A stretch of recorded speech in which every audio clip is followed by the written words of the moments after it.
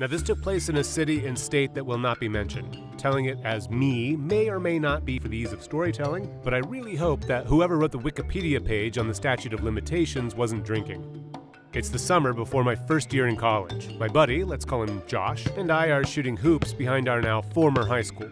Only ones there, good times, until the ball goes up onto the roof. I Jackie Chan my way up onto this massive air conditioning unit, hoist myself up, grab the ball. And you know, since I'm there, I tug at the door of this nearby hatch.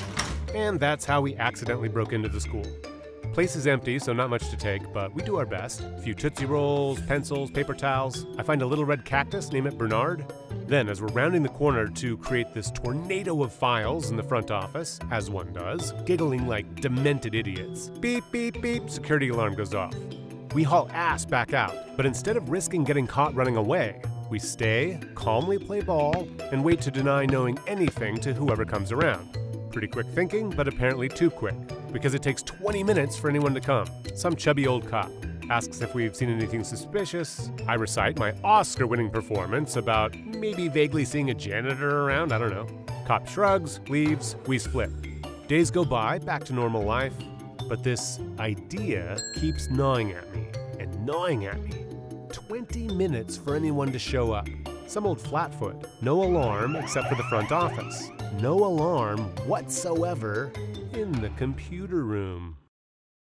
Midnight in the quiet neighborhood, car parked a mile away on the other side of this swampy field of blackberry bushes. Josh is in all black in the bushes at the front of the school, Radio Shack headset on, eyes glued to the street.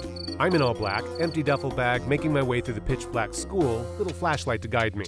And I'm seeing cops behind every door teachers, janitors, other criminals. I'm a ball of nerves. I get to the computer room, having a hard time because my hands are slippery with sweat, plus I'm paranoid about leaving fingerprints. It gets so bad I actually have to stop and wrap my hood tight around my neck because fumes of sweat are pouring up off my body, coming up through my collar and blinding me. Cops on the headset. I freeze. Seconds go by, a minute goes by, then I can barely make out over the sound of my heart pounding in my ears. Never mind, he's just busting some kids making out in their car. Well, that's enough for me. I hustle together the rest, tell him to meet me at the back door. Slam! We race across the soccer field, over the fence, into the swamp, bags held high up over our heads as we trudge through to the car, safe and sound. The end. Unfortunately, only one of the computers worked, and Josh was determined that I should have it since I did most of the dirty work. I felt pretty bad about that, but anyway, the end. The next week, midnight. My best friend, Todd, is on the roof, looking around for the hatch. I'm in the bushes out front this time.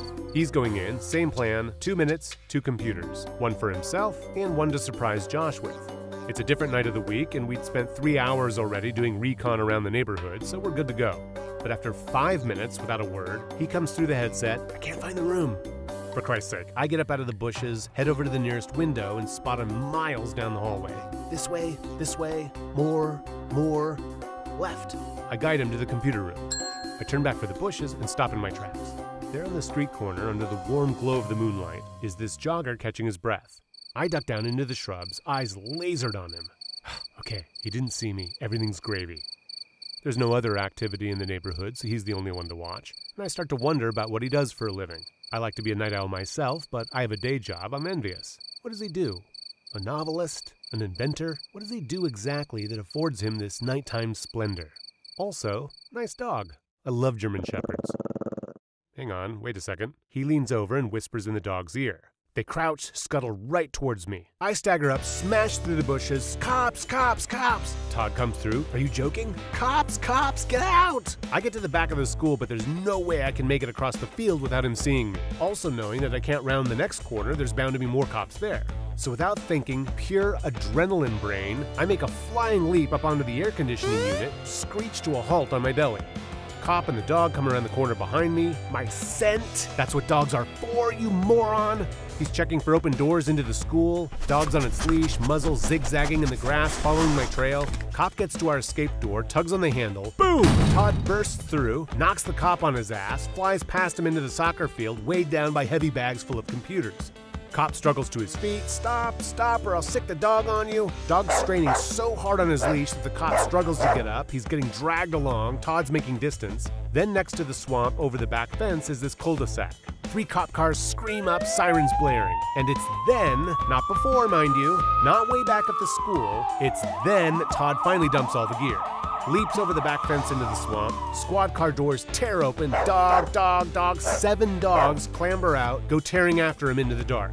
More cops from either side of the school, searchlights scanning, flashlights in trees, they're combing over the entire grounds. I'm frozen solid. Then the dogs start barking from one spot out there in the dark swamp. They clearly have him surrounded. I can just see him there, terrified, torn from limb to limb.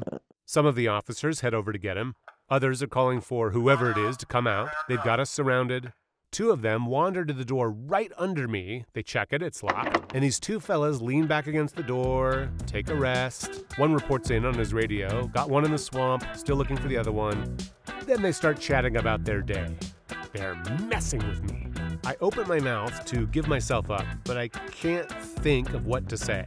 This was all a mistake. I'm usually a good kid. This was a wild idea that got way out of hand. What can I say to make them go easy on me? Close my eyes tight. Words are just not coming. I'm getting images of jail, what, months, a year, grand theft, not once, but twice. My mom, my dad, grandma, aunts, uncles, all the people that are going to hear about this be so ashamed, just outright disgusted with me. College is done. Jaw clenched, fists clenched, entire body and brain just a ball of clench. What can I say to them? But at some point, I get this sense that things are a bit quieter.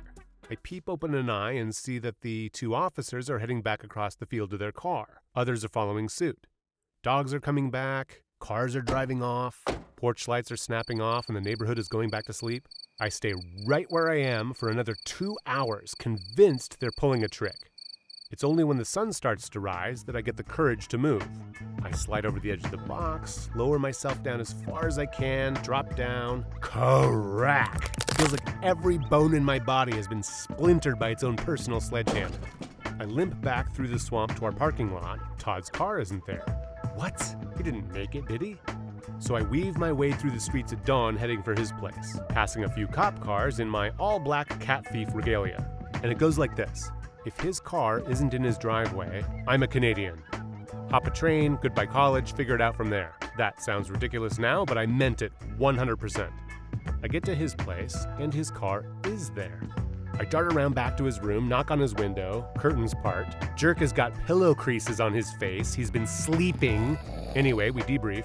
Turns out when he got into the swamp, there was this little creek we had to cross on this 2x4. Even though his car's still a mile away, in his panic, he gets out the keys, tumbles into the creek, the keys fly up onto the bank.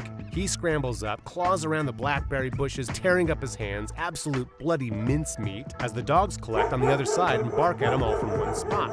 It takes him a bit of time, but he finds the keys, gets to his car, waits, and waits, then, assuming I've been arrested, he finally starts it up, drives slowly by the school, and looks closely in at all the cop cars trying to spot me drives by twice, goes to the police station, walks up to the front desk, wet, bleeding, gives them my name, and asks if they've arrested me. Clerk is confused, no.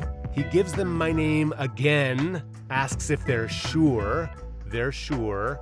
And that was that. He heads home, falls asleep from stress, he claims, and the rest is history.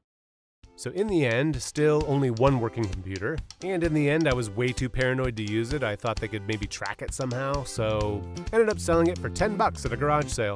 If you're gagging for any more of my wild true tales, then hey, catch my comedy special, Ryan James I'm Fine, just released on Apple TV, Amazon Prime, Spotify, plus several cable and satellite packages. The link's in the description.